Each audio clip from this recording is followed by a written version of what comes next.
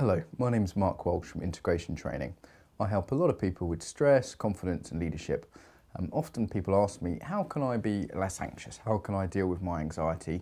It might be for a presentation, for a sales pitch, for a difficult conversation they have to have at home. I think the first thing is the framing people have of anxiety. Um, anxiety is a normal thing. No, it's, it's something we all, we all experience and um, it's also a good thing. Anxiety lets us know that something is important to us. So anxiety is a good messenger, a good signal to say, hey, this matters, pay attention.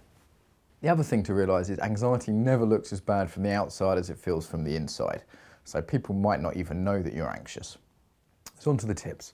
So anxiety is our neocortex imagining a future, probably worse than it is. So anything where it can get us present moment again, get us mindful right here, right now, will reduce anxiety. Now the body is particularly good, good for that. Uh, I often feel myself in my chair or feel my feet, ground down a little bit. Feeling the lower half of the body seems to, to bring the energy down and, and help a lot of people. Concentrating on your breathing though, anything that brings you present moment, giving yourself a little pinch, yeah, anything like that that brings you right here, right now will be helpful. Um, I particularly like to relax my core.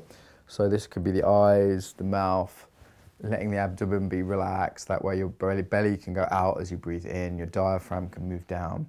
That kind of breathing will really help take the edge off. Um, if you want to know more about that, look at the centering video. You also need to identify your pattern under anxiety some people tense up, some people hunker down, some people go forward. So once you've seen your pattern, you can then uh, undo that. So for many people, that's relaxing down. For some people, that's straightening up and coming out if they kind of shrink yeah, with anxiety. So you need to know your individual pattern. Thinking, of course, is important. Uh, make sure your, your self-talk is positive. So rather than beating yourself up and telling yourself negative things, you're telling yourselves encouraging things. Equally with images, rather than creating a picture of disaster, actually create, because our brains don't really know the difference between a picture and reality that we create and the reality out there. So create a picture which is positive.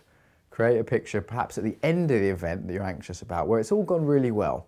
And then you just have to fill in the gaps up to that point. Careful of stimulants, uh, that could be coffee, Coke, it could be electronic stimulants. Often people doing their email or looking at their Facebook, that can actually stimulate people in a way. So keeping away from chemical electronic stimulants, uh, touch can be very grounding. So if you can, before I go on stage, for example, to do a talk, I'll get a hug off one of my colleagues. And I just find that really grounds me down. So I hope these tips help.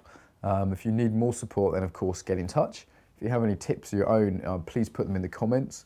And to help us get up the YouTube rankings, please like and favorite this video. Thank you.